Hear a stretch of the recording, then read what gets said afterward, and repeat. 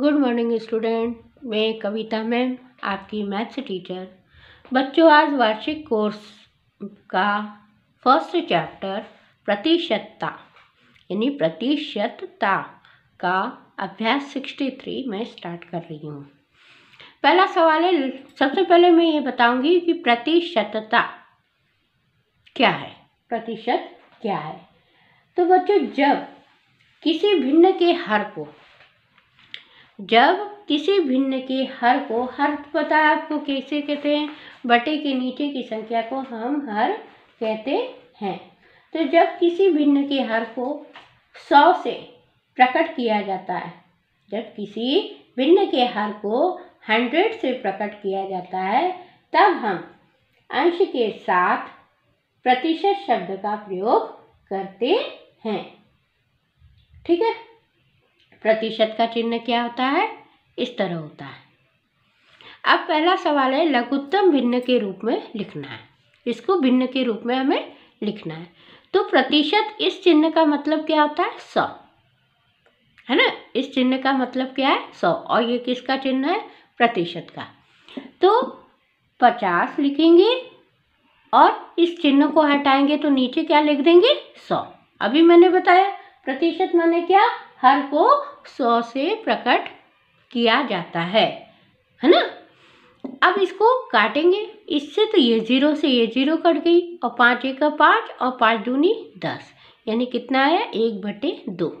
भिन्न का रूप क्या है? One by two. दूसरा है एक सौ पच्चीस प्रतिशत। ये चिन्ह का है का है प्रतिशत का। इसका मतलब क्या होता है? सौ। तो एक सौ पच्चीस इस चिन्ह को हटा के हम नीचे क्या लिख देंगे? सौ। ठीक? अब इसको काटेंगे। बच्चों, यदि छोटे पहाड़े से काटते हैं या छोटे टेबल से काटते हैं तो अधिक नंबर आएगा। लेकिन हम ऐसा टेबल से काटेंगे जो, जिससे ये दोनों नंबर एक साथ कट जाए। तो हम देखते हैं पच्चीस के। पच्चीस के पहाड़े में एक सौ पच्चीस आता है और सौ भी आता है।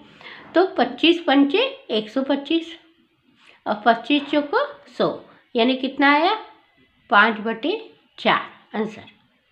आगे समझे आगे दूसरा सवाल है, भिन्न के रूप में लिखना है। इसको भी भिन्न के रूप में लिखना है। जैसे ऊपर बताया, उसी तरह नीचे का भी सवाल है, लेकिन ये दशमलव में अब देखिए हम कैसे करते हैं। एक सौ बारह दशमलव पाँच है। चिन्ह हटाया तो नीचे क्या लिखेंगे? सौ। दशमलव कितने अंक के बाद है? एक नंबर के बाद, है ना? एक अंक के बाद दशमलव। तो हम इस नंबर को हटाएँगे यहाँ एक ज़ीरो को बढ़ा देंगे। अब हमारे पास नंबर कितना आया? एक सौ पच्चीस बटे के एक हज़ार है ना? अब फिर जब इस एक सौ पच्चीस को हमने पच्चीस से काटा तो इसको भी काटेंगे। तो पच्चीस पंचे एक सौ पच्चीस और पच्चीस चौको सौ और ये ज़ीरो बचा तो यहाँ आ गया। फिर पाँच से चालीस कट रहा है पाँच एक, पाँच पचहट्ठे चालीस। तो भिन्न का रूप क्या आया? एक बटे आठ। कोई प्रॉब्लम नहीं। आगे देखो। आगे है छः सही, एक बटे चार। मैंने पिछले वीडियो में आपको बताया था, ये मिश्र भिन्न है। इसको हम पहले विषम भिन्न में चेंज करेंगे।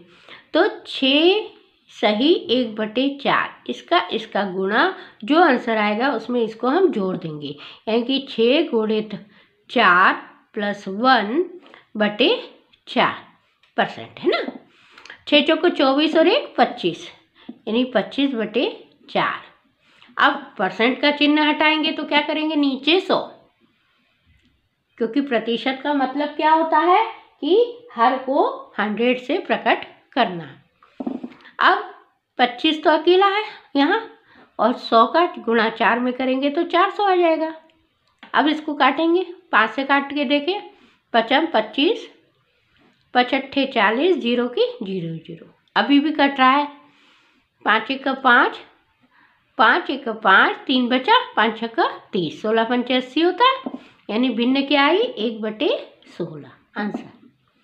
आगे बच्चों समझ में कि परसेंट दिया है परसेंट का कोई भी नंबर दिया है, उसको भिन्न के रूप में किस तरह प्रकट किया जाता है? okay? Thank you.